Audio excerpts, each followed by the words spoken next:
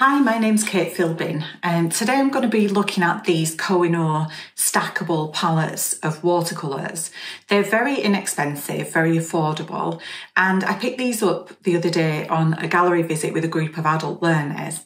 I know some of my learners bought these paints and so I would like to um, review them in the hope that that's going to be helpful to people and I'm going to give you a quick demo of how you could use these in quite an easy way to make a little landscape. So what do I like about these watercolours? Well, they attracted me because they are transportable and I have uh, recently received some very lovely expensive watercolours for Christmas, but they're in little bottles and that would be really difficult to take outside. So these appealed to me because there were plenty of colours and they were in this stackable palette.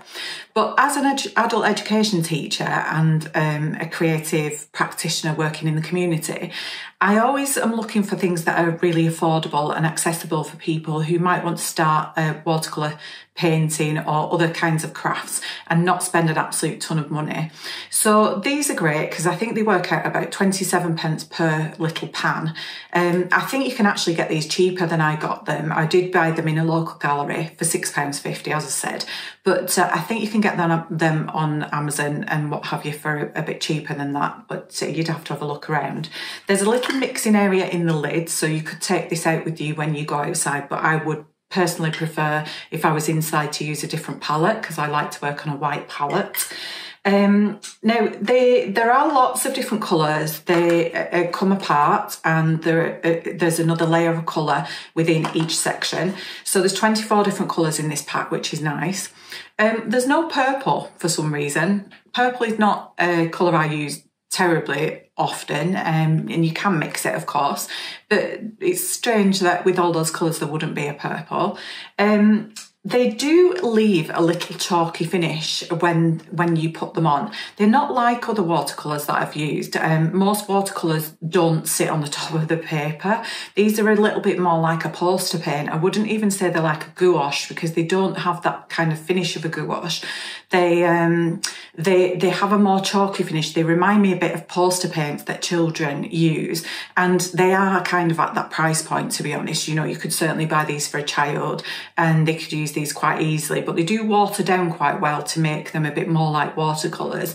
Um, but if I was to recommend some watercolours, I may not recommend these because I have um, used other watercolours, uh, cheaper brands from places like the Works and the Range with classes that work in the way of normal watercolours. So I wouldn't necessarily say these are like normal watercolours. They're not particularly typical.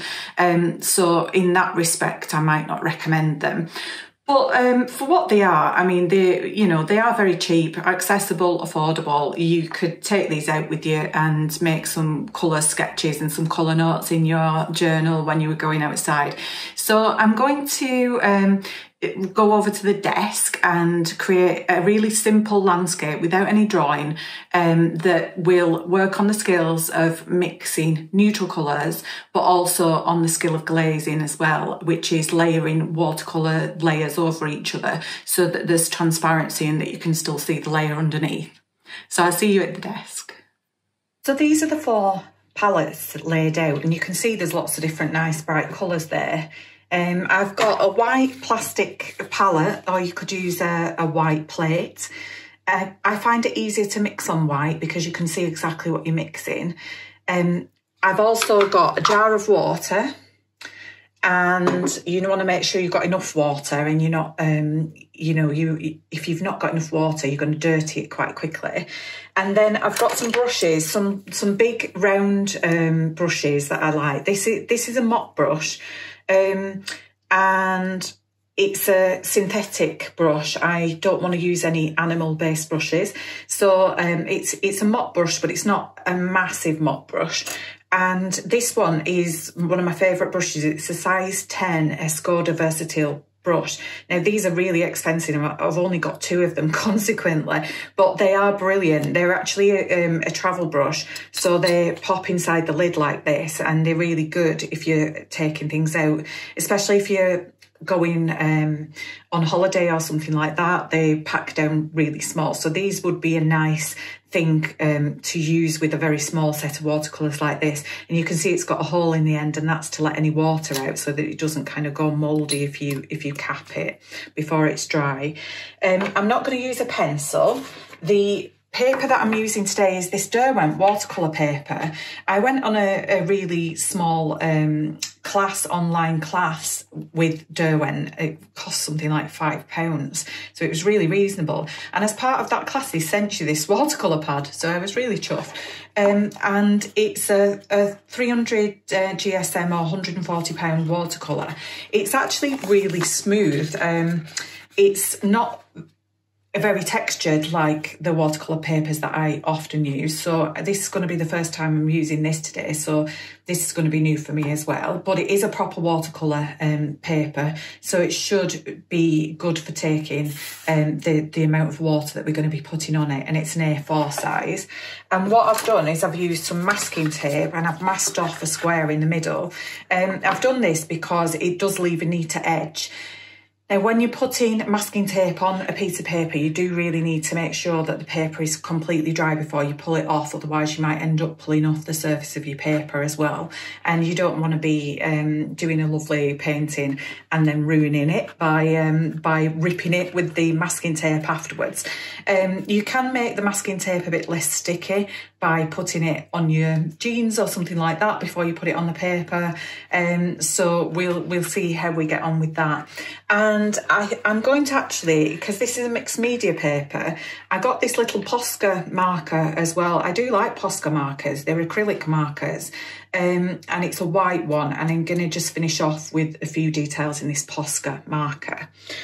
Um, for speed, I'm going to dry this with a hair dryer. You can dry in between layers and with this technique you must make sure that it's dry between each layer otherwise water water just runs into um, other pools of water. So if you don't make sure it's dry you won't get the glazing effect you'll just get a kind of wet in wet effect which is which won't give you the definition that we're looking for in this project. To mix neutral colours, we're going to take the colour that we want, um, which I'm, I really like this um, very dark blue here. I did initially think it was a purple, but then I realised that it wasn't. Um, and I'm going to put some of that into this uh, palette. And how we mix neutral colours is we take some of the colour, the complementary colour on the colour wheel um, and put it into it. So with blue, that's um, that's orange. I had to think for a second there. I've been doing this all week. Um, and what happens is it gives you a much more neutral, but you can see how that's gone grey. And that's the kind of colour we want. And that's because we're painting a landscape. And if you look at a distant landscape, what you'll notice is that in the background, um, the, the things that are furthest away from you are very pale and um, very desaturated.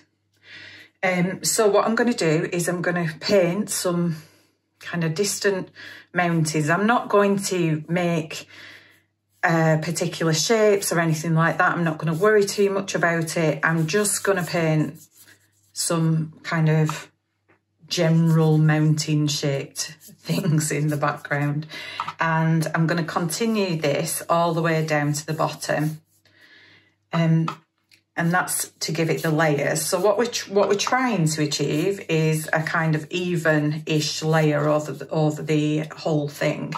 And um, I'm, I'm doing that by kind of going going down like this. I mean, I like texture in things, but at a distance like this, the further things are away, the less texture you would have in them anyway. So that to me is a reasonably uh, even layer. And I'm going to dry that now with the hairdryer. Okay, so the first layer is dry and you can see that because I've put the hairdryer on it, it's kind of um, slightly melted the glue on the masking tape. So I'm going to put it back down a bit.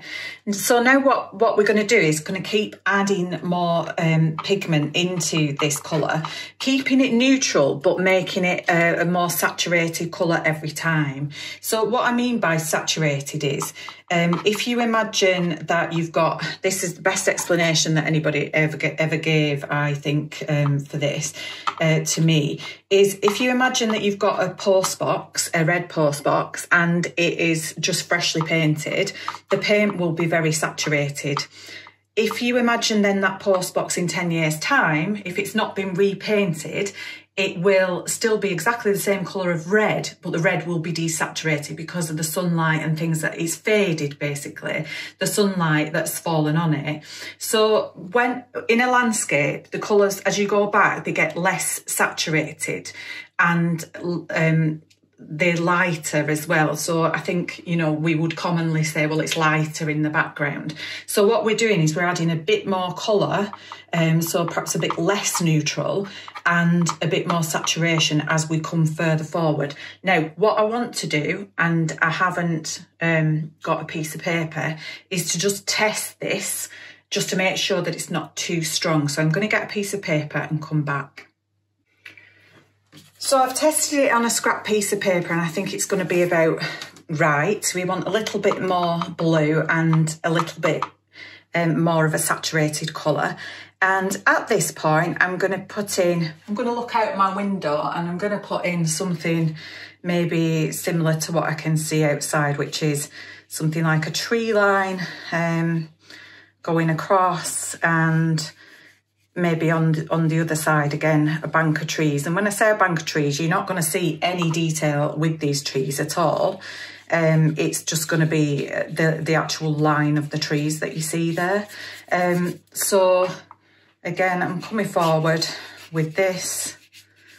Um, I'm not really too bothered about getting texture into it so I'm not going to be too like regimented about making this completely flat. But it's flat enough um, and I'm going to make sure that there aren't any like horizontal lines in it, I think. I think that would be a good idea. And I'm going to now dry that layer. Okay, that layer is now dry and I'm going to do exactly the same thing again. I'm going to add more pigment into it, um, making it more saturated, bluer in this case um, but not, I don't like, generally I don't like colour straight out of the palette. So um, we are still going to make it a bit more grey than blue, um, but it's definitely going to be more saturated each time we do a layer. So let's have a look at that. Yeah, that's that's more saturated than that, as you can see. Um, and again, you know, we're just making this up. So we could do some kind of roof shapes um, in the background, you know, rough roof shapes. I live in Snowdonia in Wales and we're very fortunate that we've got like beautiful landscapes outside um, and it's it's a really nice place to live and a great place to um, to paint uh, because you've got all this gorgeous scenery around. So, you know, I'm going to stick in a few things that I can kind of see outside my window. Um, but you're just making this up really. And I mean, it's a spontaneous landscape. You know, some of these are going to work better than others, but it doesn't really matter because it's more about the skills that you're learning rather than um, rather than the actual end product. So this is like the village in the background. The village where I live, there's only, um, I think there's 380 adults on the electoral register here, so it's a really tiny little village. And we moved here um, three years ago and we really love living here. It's so gorgeous in the middle of uh, Snowdonia. Um, I'm going to alter this roof slightly because I think it's a little bit odd looking. There we go. Um, that'll do. I'm not going to try and mess with it too much. So, okay, I'm going to go and dry that layer. And finally, I'm going to do exactly the same thing again, make it a little bit more saturated, i.e. bluer and a little bit um, more uh, colourful. Oh, sorry, a little bit more saturated, so like darker basically, and also a bit more colourful, so bluer as well. And I'm going to go with a bit nearer to the original blue with this. Um, I'm going to imagine that I'm standing on a country lane um, as the lane at the bottom of my house is, and I'm looking out across um, the village to the mountains and the trees in the background. I mean, you could do this with an urban landscape quite obviously. You could, um, you know, you, you could make it uh, buildings in the background. It's still exactly the same principle. The further away you get, the less saturated um, things become and uh, the the the kind of the less colourful, less detailed things become as well. So here's kind of a bush layer, and because we're now in the front, what I'm what I'm going to do is take a little bit of the actual colour itself. Um, and maybe that's a bit too much. These do fade uh, when you're using them anyway, but you've you've got this. Um, you can kind of do this quite nice effect with them where you're dropping them into uh, into your um, other colours as well. So that does work quite well with these actually. I was um, reasonably happy with that. So I'm going a bit um, off-piste here, but we've got this kind of, uh, you know, with a little bit more texture and a little bit more colour there. I'm going to dab some of that orange off because I don't like it on that side. Um, you can dab things off. Again, that will give you a bit more texture as well. So some of this is just a learning curve and how to do things and how strong and what colours you've got and that kind of stuff. But I was quite impressed with how these get this quite nice texture um, that I'm trying to achieve at the front here. So I'm going to dry that and then we're going to come in with our last little bit. What I did mean to do as well is I meant to um, put something into the sky and I forgot. Um, so I'm going to mix up a very dilute version of this um, colour uh, that we've been using. Uh, try to make it quite grey. And um, I'm just going to put a few little clouds in the sky. So I'm going to use this side because it's very grey and quite watered down. And the sky's always darker at the top. So I'm going to give it a little um, thing at the top like that and maybe an odd cloud. Far be it from me to say that it's cloudy in Snowdonia. It has been actually absolutely chucking it down for about three weeks solidly. So, um, so this does feel rather appropriate that we've got a few little clouds in the sky here. So they're not detailed, just to give the impression of a few clouds. And then the final thing that I'm going to do um, is I'm going to use this Posca marker and I'm going to imagine that we are, again, you know, we're looking at it through the hedgerow. So I'm just going to make sure that this is coming out and I'm going to draw some grasses um, and actually what I might do is I might take off the masking tape first so I'm just going to give it a quick blast with the hairdryer and then I'm going to take the masking tape off. So you can see that taking the masking tape off has left us with this nice straight edge and what taking it off is going to enable me to do is to go out of the um, edge here so I can kind of break uh, the edge with my grasses. Um, I'm going to add in some flowers um, and leaves just to add again it's a little bit of detail at the at the front of the image here um, so we see these kind of fluffy white things in the hedgerows, um, which are cow parsley, I think. Um, they're rather attractive and nice to draw, so I'm going to put a few of those in. And um, a few different shaped leaves and so on, so it looks as if we're kind of looking through this hedgerow into the into the distance.